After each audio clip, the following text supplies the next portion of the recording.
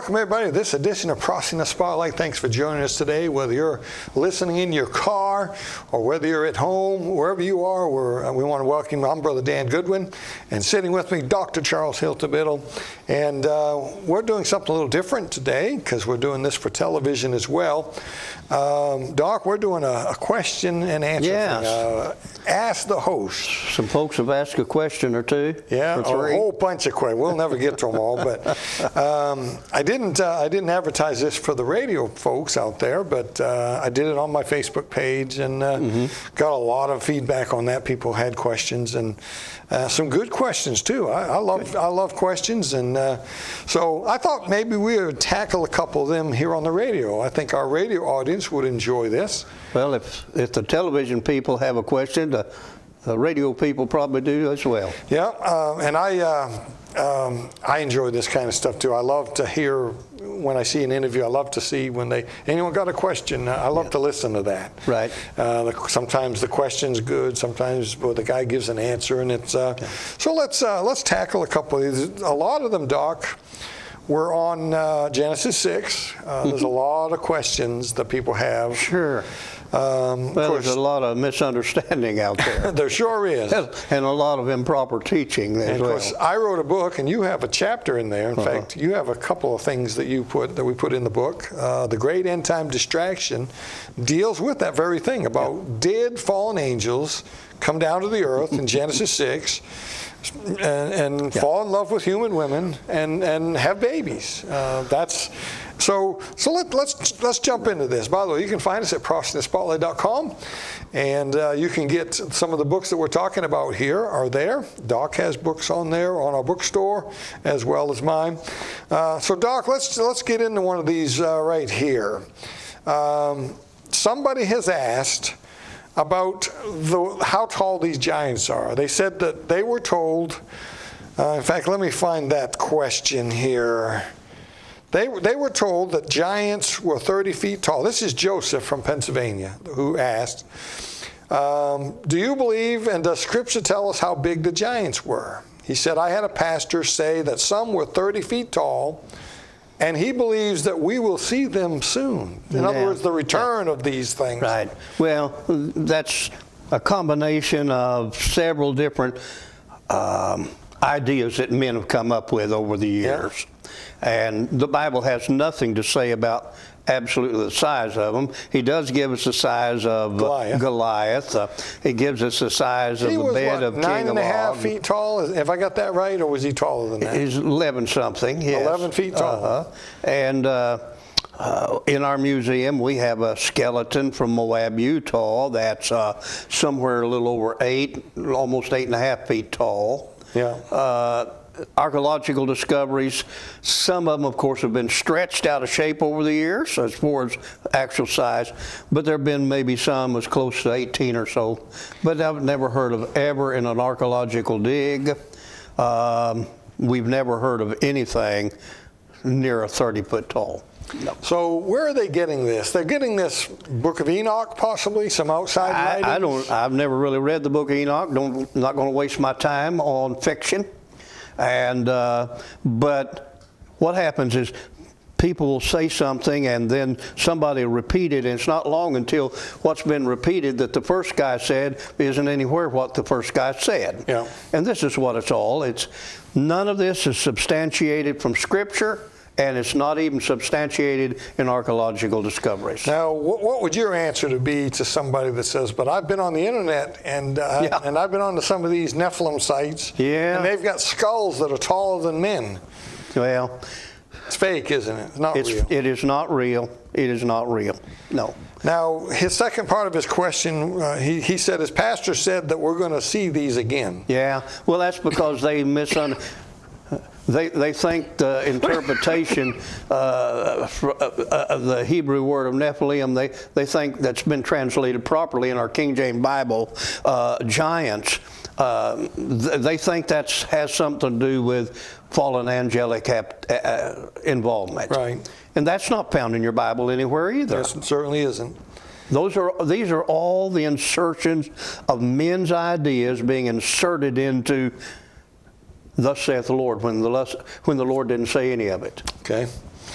Um, I'm with you. And uh, and by the way, the guy Joseph from Pennsylvania says I'm not believing this at all. So, Yeah. So he's Yeah, but there's a lot of people that, that and you know it, a lot of a lot of good people are, are mixed up on it. Yeah. We understand the foundation of it is they believe in a gap theory, yeah. A gap between verse one and two of Genesis chapter one, which, by the way, is not existent either. What they call a pre-Adamic world. yeah, well. For seven days, or for six days, it was pre-Adamic. That's right. But that's how. But anyway, no, uh, there is no gap Yeah.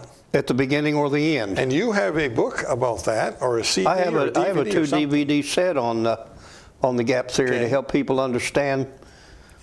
Okay, and so they can you can go to the website and look at Doc's bookstore, and he has some good material on the gap theory, and uh, you've got. But that's where they get the foundation, and they think that there was a Luciferian world and fallen men, and this is where they get the idea that this is fallen angel activity, and it's not. Your book deals very explicitly about Yeah. Impossible for non-flesh and blood individuals to I produce really children. think, Doc, that this age that we're living in, with the with the crazy stuff in all the whole prophecy world is talking Yes. about giants, monsters, return of the Yeah. Nephilim, UFOs abducting people. It's because they've misinterpreted the entire purpose of Jesus saying, as the days of Noah Yeah. were.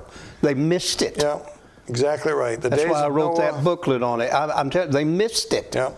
The, there's nothing in them passages. There's nothing in the story No. of Noah about fallen angels no. mating with human women. It's all about the wickedness of man. yeah. Now, can't you just see Satan laughing? Oh, don't this? you know he? This is not almost every subject in in theology has been convoluted down through the time because the devil couldn't just he couldn't just throw it out. He's got to muddy the waters They- up. They've taken away the responsibility, the accountability, Accountability of of man. in Yes. Genesis six. That's right. Man caused that, not angels, not fallen angels. and they want to blame somebody besides man, but but they can't. Some have gone so far as to say that everybody in the earth was corrupted with the DNA of Satan, Yeah, well- had no soul and could not be saved. That's What why a lot of people in the prophecy world right now is talking about the the jab thing that's supposedly altering the DNA of people. Yeah. Well, it's not necessarily altering DNA. It's it's altering the immune system. Yeah. That's not one and the same. Yeah. Okay. Um, let's let's hit this one, Doc. Somebody uh, asked, and I don't have a name for this one. Somebody asked, "What's the difference in Daniel's 70th week, Daniel chapter 9 Uh-huh. and the tribulation?" You want? Yeah. Well, uh, we, we often use the word tribulation, and then we in the prophecy world, and I'll, uh, I'm guilty of it. I'll be speaking, and I'll say uh, the 70th week of Daniel, and people are thinking, "What's he mean?" And uh, the tribulation period that we talk about in Revelation 6 through 18, um, that is, by the way, that's actually Daniel's 70th week. Yeah.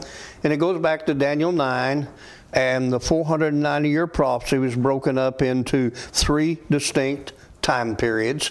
The first two together was 483 years, and the last 70th week, which is not a week of seven days, but a, a, of seven years. Yeah. And uh, so they are one and the same the tribulation and Daniel 70th So, in other week. words, you could say the tribulation period, or you could call it the 70th week of Daniel, and you're talking about the exact You're same talking about the exact same thing. Yeah. A 2,520 day period of time. Yeah, and it's the Bible breaks it up in two mm-hmm. halves. You got Yes. the first half, and you got the the second half, which is Yes. called the Great Tribulation. Great tribulation. Time of Jacob's trouble. Jacob's trouble. And that tells you that it's it's a it's a dealing with Israel, Jacob's trouble. It's not dealing with the church. All right. Well, we're going to get in trouble on this next one, Doc. We're, we're going to do it. We're going to do it. Okay. We were asked by uh, let's see who Sharon.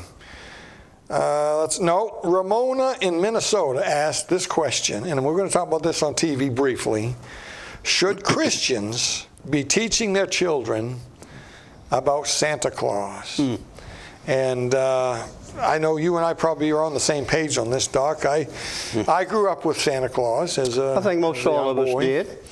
And uh, I, uh, I mean, all the way till I was 21, I think. No, I'm kidding. But, uh, No, about about the, about nine years old, I saw a bicycle in the basement. Uh, my mom was painting, and I wondered about. And then when I saw it under the Christmas tree, I got it figured out.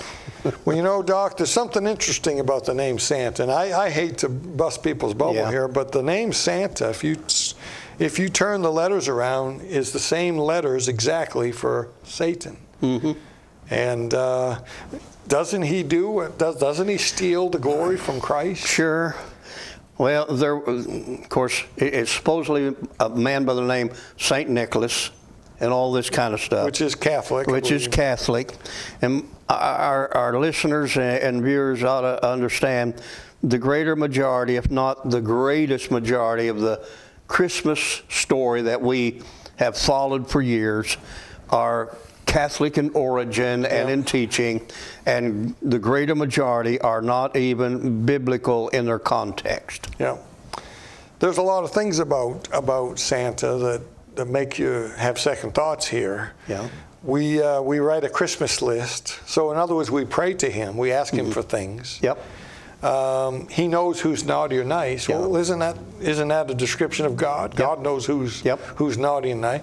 There's a whole bunch of things about this that just don't fit right. It is, and uh, I have a three DVD and a three CD set of the truths of the Christmas story. Nearly 30 years of researching it all.